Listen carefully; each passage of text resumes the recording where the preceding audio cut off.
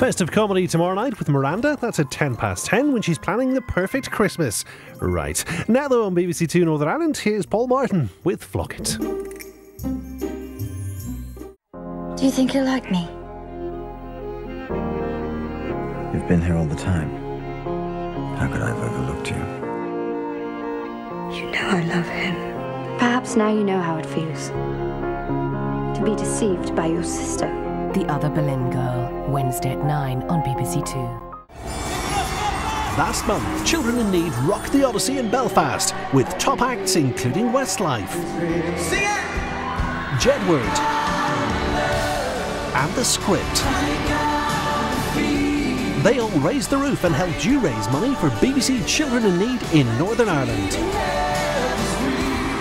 Relive that night as Children in Need rocks the Odyssey tonight at 8 on BBC Two.